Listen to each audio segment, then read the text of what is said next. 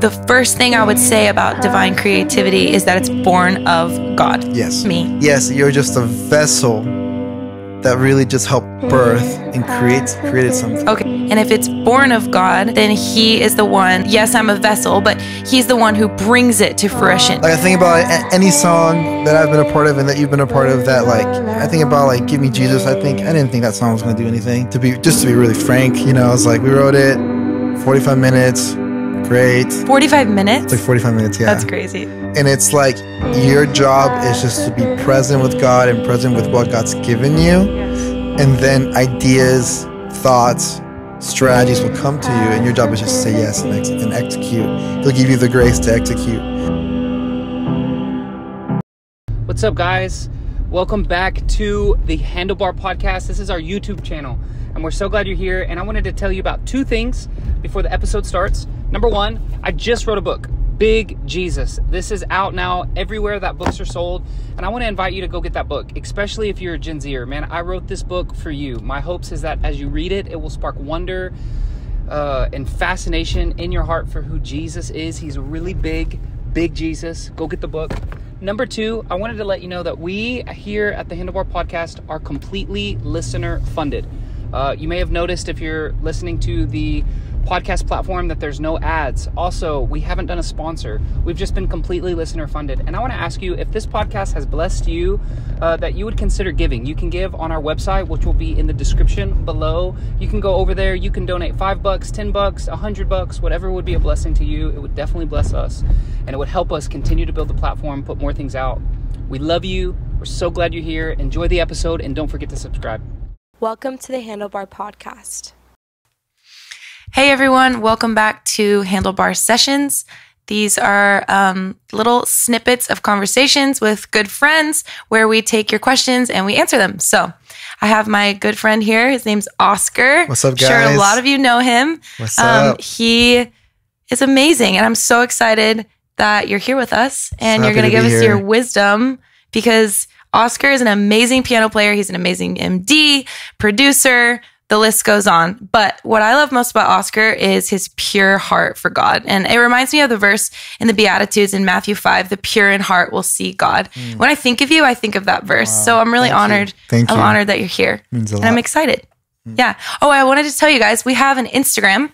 You can follow us at Handlebar Podcast, and then our website is thehandlebarpodcast.com. So you can check us out there. We're going to get into the question. You want to ask us the question, Carla? Carlita. what are your thoughts on divine creativity? It's a great question. Oscar has a lot of thoughts. Do you want to start? or do you want me to start?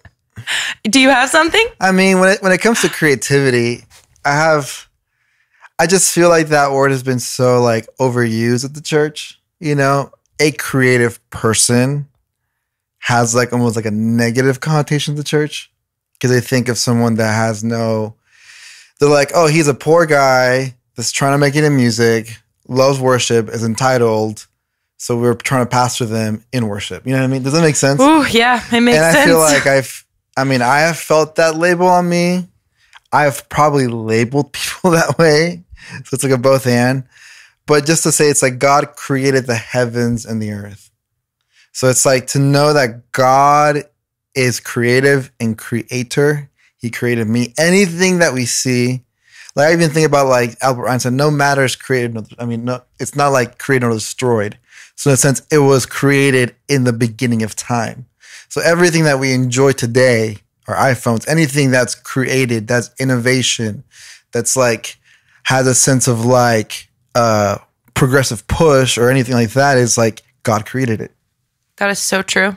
Like it it wasn't before like and it was man who helped establish it, but it was like God, you know, we have all the materials today to make a car. We have all the materials today to have airplanes, which is all creative. Because for creative, it's like for me, creatives are just problem solvers, in my opinion. Say that again. Creatives are just problem solvers. You come- Creatives are problem solvers. so it's like you come up with a solution, you have an idea, you're like, I really think this can work. But everyone's telling you, no, it can't. But you're like, I feel like it can. And, and you have this internal feeling in your heart that like you can. So you try it.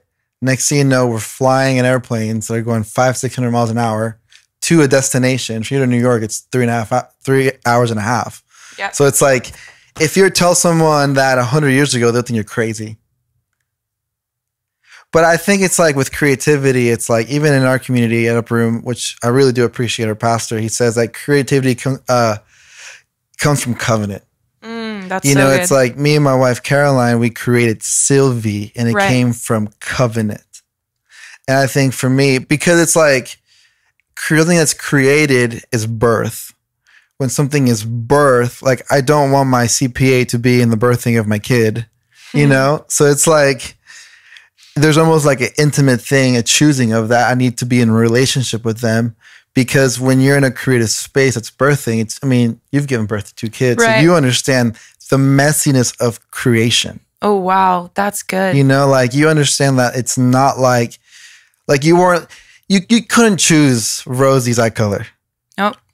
Couldn't even choose the day they were born. You couldn't choose the day they were born. you couldn't choose any of that. It was besides yourself. it was you're- beyond me. Yes, you're just a vessel that really just helped birth and creates created something. Okay, that's good. So divine creativity means that I am a vessel Yes. of God to birth something into the world. Yes. That's what divine creativity is. That is so good. It's almost like it's beside yourself. Like I think about any song that I've been a part of and that you've been a part of that like you know, like I think about like "Give Me Jesus." I think I didn't think that song was going to do anything. To be just to be really frank, you know, I was like, we wrote it, forty-five minutes, great. 45 minutes? It's like forty-five minutes, yeah. That's crazy. you know, I had a little piano intro and then we started to sing it. And our friend Cammy was like, oh, what if we do like, she starts singing the chorus. I was like, yes, Oh, of course she awesome." did. That's incredible. But like, one, that was like besides myself. I wasn't overthinking anything. You know, like everything just kind of came and flowed. And I was like, oh, like the idea was there. I think there's four people in the group that helped birth the idea. And once it's out, it's like, you just kind of like, I tend to the idea as it needs. Similar to, I mean, I think, we're, um, like you and, um, and Rosie and Shepard, for example, like I, I believe, and you can probably speak into this, like the ship, the parenting style of you two for them are very different. right. You know what I mean? Absolutely. So it's like with creativity, with any idea, with any thought, with any song, with any with any problem that you face, it's like the approach is almost different every time. So it's like that's when when I think of divine creativity, it's like I think about covenant first of all with the Lord, second about people, and it's like creating a space that like one no, no idea is wrong idea. Two sky's the limit. And we're just to chase the idea until it comes into fruition. And at times i know for me personally like i've known i know i was my true self in the act of creating something when i'm done that i feel a little depressed it's kind of strange Say it again. like i feel a little depressed a little bit sad Oh, like it's after over. it's done because it's over totally. Totally. you know, I think about like, you know, I'm not at this stage of life yet, but I was talking to my parents. And I, I'm sorry, I'm talking a lot. I love it. We can, we can. I want, you, I want to hear from you. It's like the moment like I graduated high school and I moved out of my parents' house, they felt a little sad and depressed. Oh, They're yeah. we felt sad because this is the end, in a sense, of us helping steward you, in a sense, helping you create, cr- help create values in you, help steward you or where you're going. Now we have to let you go. And I remember when I did Abbie's project, that's exactly how I felt. Whenever we turned everything in, it was like, uh, it was like a high almost. Like I was like, oh my gosh, like it was like we were like working late because we were like we had so much, you know, we were working until it wasn't done. It felt like it felt like a giving birth. You know, it felt like whenever like Sylvia, you know, it was like two in the morning, we're at the hospital, and then it was eight in the morning, and then the baby's coming. You know, it, it felt like that. But when we turned everything in, I was like, that's it. It's over. I guess it's just there. You know what I mean? So it's like that's why I love about creativity. It's like it's like one, it's like I don't think I do it for people, I do it for the Lord. Second of all, it's like when you truly get lost in that world of creating something, creating something beautiful, especially for the church. I believe the church needs to hear this. It's like when you choose to be true true to yourself and true to the Lord and you create something that's true and honest with your instrument, with your music, with the language that you write. It's like it's true. It's like people people can hear that And they respond to and, it. and they respond to it. Because I feel like a lot of times what happened with the church is like they have great voices, but they lost the soul. Mm. You know, they have great talent, but they lost the heart. And unfortunately, when it comes to Like the creating connection to Jesus, the connection to the Spirit. yes, Yeah, like yeah. like the like, oh man, I hear yes, that makes sense. Like not singing or playing from your head, but from your heart. your heart. Yeah. You know, it's like like is- with you, you, deal. you know, it's like you're an incredible singer, you know, but I hear your heart. Mm. And it's like there's people that sing better than you and people and people that sing worse than you. Right. You know what I mean? But it's like that does not matter because it's like when you're true to yourself, it's like people hear you. Wow. Like piano playing, I was like, you know, like there's this one lick that I've been trying to play for the last 10 years of my life. And I still can't play it. It's so annoying because there's a guy. What? Oscar can't play something? It's because uh, I, I grew up in a more gospel church, and they're like they're like licked for days. They can play like all across the piano. Wow. I remember I was like, remember when I was learning it, and I still am learning it because I can't perfect it. You know, it's like I was like, I can't play this pentatonic scale like up, down, up, whatever. But then like when I chose to die to that almost, the idea that I I just can't wow. and I chose to like, hey, I'm just gonna be myself here, is when I truly have found my voice in creating because I'm like, I can express something in music, which is a timeless language, to the Lord that resonates for some reason that I can't explain why with others. yeah. Does that make sense? It so makes sense. Yes. And as you're talking, I'm thinking the first thing I would say about divine creativity is that it's born of God yes, because it's 100%. divine, 100%. right? So it's born of God. And if it's born of God, then He is the one. Yes, I'm a vessel, but He's the one who brings it to fruition. He like Yes. calls it out of me. He pulls it out of me. And I think something you said is so key, which is being yourself. 100%. So it's like divine creativity is born of God. He's birthing something through me. But in that birthing process, it's not going to look perfect. It's not going to be polished. It's not going to be pretty. It really, I think if it's polished and pretty, the first go, it's not as good as it could be. yes, this is true. or you're striving. 100%. And I'm preaching to the choir, and you know me. I feel like something I struggle with a lot is like striving or trying to be perfect, or and the Lord has taken me a long way. But I just I think of a couple weeks ago, I, I woke up and I just had an anxious feeling in my chest. Have you ever felt that where Oh, you're like physically, I feel like there's a hand on me and I'm anxious. So I woke up feeling that way, went to my piano, and I was like, I don't think anything is going to take this anxious feeling away. Well, I know nothing but the Lord, but I don't think anything's going to work but to sing and play. It just, I just had that feeling of like, you know, and so I think divine creativity a lot of times is birthed through always really, I feel like through our own process and our own 100%. lives and what we're going through, good, bad, and ugly. And that morning it was ugly. And so I'm sitting there and I'm like, Lord, I'm anxious. I'm anxious. And I just start playing and I'm like, God, will you take this away? And he's like, just sing, just sing. And so I just start to sing this chorus. All anxiety has to bow at your feet. And literally within 25 minutes, I had two verses, a chorus, and a bridge. And mm. I like to co-write a lot. I don't write songs easily on my own. And so I knew in that moment that yes, it was I was a vessel and God birthed something through me, but it, it had very little to do with me. Besides, I just brought my heart and I brought what I was going through, which was anxiety.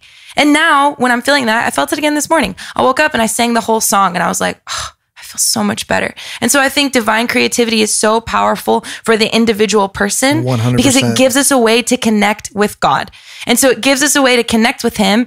And then, and then when divine creativity is birthed for like the church or for, you know, um, more people than just us, it's really powerful because it carries the spirit of our testimony. 100%. And in Revelation 19:10, it says the testimony of Jesus is the spirit of prophecy. So it's like the testimony in your life is a testimony of Jesus. The testimony in my life is a testimony of Jesus, right? And that in itself is the spirit of prophecy. And it's saying, do it again for 100%. whoever's listening. So there's so much to say about divine creativity, but yeah, those are my thoughts. That's really good. I, and I think for for me, one time I was going through a hard time. I think for anyone that's like creative, which that word again, it's a little triggering to me. I don't know why. Just What church, cre- a creative being, you know, whatever. Oscar, you are a creative being. yes, I'm like, I am Oscar. Okay, whatever. but um, it's like because for me, it's like also understanding the way someone works. You know, like for me, I was talking to my wife about this the other day. I'm like, I feel 24 seven. I don't know what I'm feeling, and a lot of times I have to process what I'm feeling to f- pinpoint that. But it's like it could be a good emotion, it could be a bad emotion. But if I and the beautiful thing about music, it's like I can I can actually process that with the Lord with my piano. I'm not the best singer, but I can sing to the Lord, and you know, and those are the most vulnerable moments. And one time, uh, I was just felt kind of like numb, and my friend's like, "I think you're emotionally constipated." I was like, "What do you mean emotionally so real. constipated?" That's just a random question. yeah, that's a weird way to put it. weird way to say it, but I was like, what? In a sense, like I haven't like I it's like it's to a place and I think anyone's felt like this, like like you haven't processed your emotion. Oh yeah, it's just all that you up. just don't feel. Wow, And you're numb. You're numb, and then life kind of just comes at you day by day, and you're not aware of God. You're not aware of your surroundings. You're not aware of your friendships because it's like, like I think about this. I had this idea one day. I was like, you know, me and my wife were driving back from church, and I was like, this is the only moment today, at this day, that we're going to drive back from church. And I believe that God has things for me to connect with her about. wow, that's beautiful. You know? We need people like you, Oscar. Or like, I've never had that thought you in my know, life. or like, or like today, God has idea, like any relationship that like, like if you see it that way, like it kind of opens up your heart. Like God Yeah. has every person that you meet at the coffee shop that you just randomly would meet. It's like you have the choice to either be present or to be disconnected. so true. You have the choice to be present with God today or disconnected. But if you're aware of your surroundings, aware with God, aware that like, man, like, like I, I've this happened to me a lot of times. I've had ideas in my head that I don't execute, and then next, you know, six to eight months later, I'm like, there was someone else did it, I've seen that too. you know, and I'm yes. like, but again, it's it's not that like God's like, oh, I'm not gonna give it to Oscar, Yeah. or I'm not gonna give it to. Sarah Beth. Right. It's like God has has ideas and plans because He wants things to progress, and it's like you know, my role is to say yes. I think about Reinhard Bonnke. I heard real quick. I don't know how much time you have left. well, I just realized I forgot to set the timer. so we can wrap it up, but go ahead. Yeah, but he was the seventh pick person that Yeah. God wanted to choose. The seventh, the number of completion. Yeah, which is kind of crazy. crazy, but he just said yes. And I think for anyone who's creative, if you write if you write books, if you're a pastor, if you're a worship leader, if you're a stay-at-home mom, whatever your title can be, there is creativity for you. That is so good. So it's, and it's like your job is just to be present with God and present with what God's given you Yes. and then ideas, thoughts, strategies will come to you, and your job is just to say yes and ex- and execute. He'll give you the grace to execute, and that's the key. I think that's the key. If if I had a handlebar, quote unquote, Yeah, go for it. that's what I would say. Just being present with God and being present with the people around you, not thinking about yesterday or tomorrow, Mhm. thinking about today, and then doing the best that you can do today. Because in reality, like tomorrow's not promised. Right? Like just we don't know. it's not promised and it's like if you can live that way that like you know like you're not riding on yesterday's successes or tomorrow's failures or vice versa because if if if, if you say i'm thankful i've had a quote unquote successful career but that if that was my identity it's like i would not show up the studio daily you know or for No, example that's not going to it's like it's not going to keep me there. You Yeah. know, it's like, or someone that goes through, I heard recently someone like that lost a lot of weight. He has a picture on his phone of him at his highest weight. He's lost a lot of weight. Yeah. And he's like, if I, if I choose to, to be, you know, to like, I've done it, it's like, you will not do the things that got you there. Wow. And then you actually start to regress. wow. So it's like, as a creative person, it's like one, uh, be present, protect your heart space, your emotional space, your head space, your spiritual, spiritual walk with the Lord. Very, very important Yes. um, and just be honest and just be present with if it's a little chorus, if it's a whole song, if it's an idea of how to how to be more, you know, if whatever, how to make a dinner. Write it down, right? Yeah, like cr- making dinners creative. Yeah, you know, going so on true. date nights creative. Like all that is creative, Yeah. and allowing that to be like, uh, and also like with creativity, like let there be play. you know, someone I read a book once that said like every creative person should have 30 minutes of just playful creativity, Mm, almost like touching back of your kid senses. yeah, Like you need playful creativity for it to be authentic. that's good. So like every th- 30 minutes, sit down if it means painting, Yeah. if it means going on walks and looking at nature and writing stuff down or whatever that creative thing is and usually it's attached to your childhood Wow. it's like step into that fully and don't think about the end goal or the purpose Woo. because you start to uh, create from a pure place because the purity of that place translates Wow. So be present and say yes. yeah and say yes That's so good. My handlebar is practical and it's get out your journal and don't hold back. Don't try to make it sound pretty or polished, but just write mm. what comes out. Yes. I think start there. If Yes. you've never never done that before, do that. And then take that into your area of creativity. So if it's cooking, let it get a little messy. You know, maybe don't follow a recipe and just go for it and eyeball things. And you know, if it's songwriting, then don't try to write the best chorus or the best verse or the best and yeah, just go for it. And Say if- what you think. And if you fail, it's you fail. Like I remember when we Yeah. when we first got just to end it, when we first got married, we went to Tulum. And we had some incredible food, and me being my overachiever self was like, I am going to replicate that replicate that meal. it was the worst thing ever. But you had fun? I don't know if I had fun. you didn't have fun? I was like so caught up with how I was like, oh my gosh, I spent a hundred dollars No. on oh, this meal. At Whole Foods. I went to Whole Foods because I wanted to be like, we're like newly married. I'm like, I'm gonna do it. yeah. horrible but don't let it cut, get catch up on you because now like it actually like hindered me i was like i'm not i'm not gonna cook because i suck that was my mindset There you go. fast forward five years later i'm starting to cook again i'm like i love cooking Yeah. it's a great creative outlet but i let myself like because it, i failed it actually hindered me That's good. to step into more creative things just do the best that you can Be with what you okay have. with be okay failing. with failing That's it's like just try again and Yeah. just enjoy it Yes. Have fun. yes It's born of God and sustained by God. Yes. And you can have fun in the process. So that is a wrap. I'm sorry for not setting the timer. First handlebar podcast slash session where we've never had a timer. So Wow. you're welcome. It's cool. It's creative, yes right? yes Thanks for listening, guys. We'll see you next time. What's up, guys? My name is Zay. I'm from North Carolina. Um, I'm an active listener of the Handlebar podcast. Two things I love about this podcast is how practical it is, but also how authentic it is. And just being able to marry those two things together and just, you know, hear the Holy Spirit voice through that, I think is awesome thing. So um, if you enjoy that episode, go ahead and subscribe here on YouTube. And you can also uh, stream on any podcast platform there is. Continue to check us out.